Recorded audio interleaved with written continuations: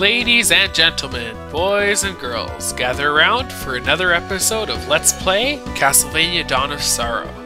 Now, in the last episode, we left off just at the top of the Cursed Clock Tower, and that's where we're going to pick up in this episode. Now, the boss door is just to the left, but first, make sure of two things. The first is that you've collected that flying humanoid soul in the background using the Mandragora soul ability. And the second is to get a proper setup before taking on this boss. I'm actually going to abuse a trick to beat the boss really quickly. Now, since it uses a soul ability, your weapon really doesn't matter in this fight at all. Uh, however, your armor does. I recommend using either the Mage Robe or, if you have it, the Elfin Robe, which will boost your intelligence quite a bit, as you can see. So equip that, and then for your accessory, I recommend Skull Necklace for its defense and intelligence boost. Now, if you have a soul setup following the one I'm about to give you, it works really well. Uh, start with the disc armor and then flying humanoid to raise your intelligence and luck. Remember, your intelligence can boost up to 75 points if you do it right here. And then finally, either Lilith or Dead Pirate to get uh, double damage from behind, which I'll use. But either one works well here. And of course, this fight uses seal number 4, so make sure you have that memorized before you head in. Anyway, let's go take on the boss.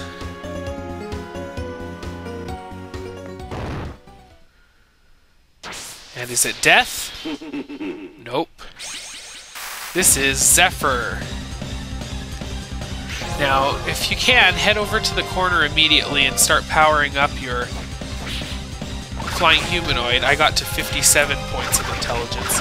And then basically, that's it. You just pwn Zephyr really quick. oh, I screwed up. There we go.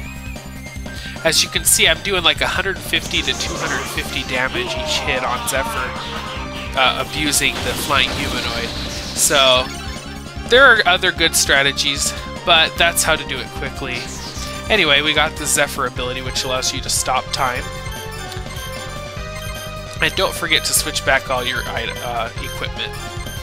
Now, if you want a good strategy, I'll post I, will post another video if you really want good strategies on these bosses. Anyway, um, that doesn't abuse tricks. Anyway, this is the Zephyr Soul ability. Basically, it just pauses time and allows you to kill enemies, but it's not really very useful because a lot of enemies are immune to it. So, heading to the left, we have a choice. We can go farther to the left or down this little shaft down here. And we're going to start by going down, of course. And now if we hit this little switch, that breaks open the wall that I pointed out in the last episode. And, whoa, baby, that was close. We'll just continue down the clock tower. This doesn't look very promising. Yeah, we're going to need some ability that allows us to fly to get past that spiked corridor, so we'll have to come back here once we can fly. Oh, these Medusa heads can be very dangerous in these spiked corridors. You could take upwards of 200 or so damage if you're not... See? 120 just without the petrification. So be careful here. Those were some fancy moves right there. I thought I was going to get hit by that Medusa head for sure. Anyway, heading back up to this part, if you head left, there is a warp room. Now, I'm going to save here just in case it crashes, because it likes to crash on these rooms. And we're going to head to the Dark Chapel.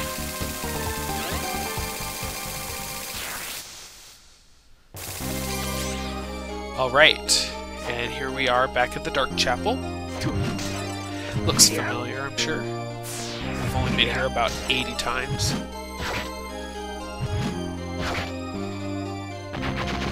Getting quite a bit of lag for some reason. I think it's all the sprites. Oops, I have Zephyr equipped still. You can see that it froze Frank there. Oh well. Sorry, Frankie.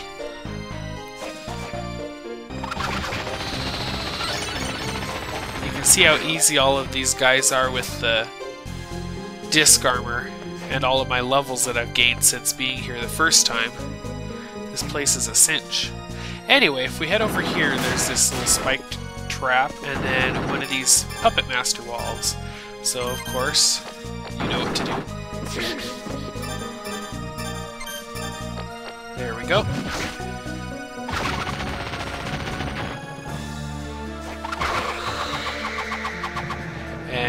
Another spiked implement. Watch out for that thing. Ah, there you are, Guillotiner. Anyway, we're heading into a new area now. That is Subterranean Hell. I must admit, it's a creative name. And of course, we've already got the Dead Pirate Soul, and what's this? A save room. You know what comes after a save room, right? Yeah, a boss battle. If you guessed a boss battle, you win the $64,000 question. But first, we've got a new enemy, the Cave Troll. A popular mythological figure on YouTube. Anyway, we'll be back. Okay, so far I have the Cave Troll Soul. Uh, this allows you to attack by lashing out the tongue. Oh, that's a popular trolling technique, I guess. anyway, um, as you can see, I use the flying humanoid to get the soul really easily. And there's the soul in action. Basically just sticks out his tongue. Now, I have to get its item drop still, so I will be back as soon as I've got that. We'll see you in just a minute. Alright, I've got the Cave Troll's item drop, which is a Pila or Paella or however you pronounce it. Anyway, it's a consumable. There we go. A veritable cornucopia of seafood. And I should probably show off the Cave Troll's level 9 ability. I gained a whole bunch of souls trying to get that drop, and here it is. How disturbing is that? oh man. when I first saw that, I about shit myself. anyway, make sure to switch into your uh, intelligence boosting equipment. And this time for souls, I recommend the Killer Clown for range damage. And then we're going to abuse the werewolf trick for this fight just to show it off. And finally, I'll do Lilith for the intelligence boost this time since we'll be fighting head on against this boss. Oh, little Une, you didn't think I was going to leave you, did you? Too bad. And here we go, it's another boss battle. This guy is named Rahab. Now, you want to avoid its icicles at all costs, because those do about 70 damage or so, I think. The main goal is just to wait for it follow its bubble pattern, and then hit it whenever it's out of the water.